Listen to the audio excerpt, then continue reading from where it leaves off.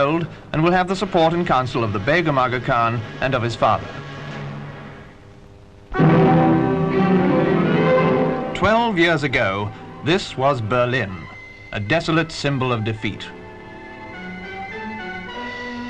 Now Berlin today, where a building exhibition introduces the theme of reconstruction.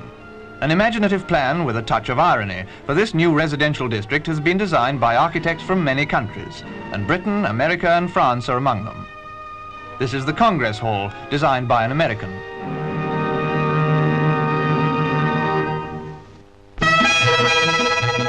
It was hard work fueling up in the old days.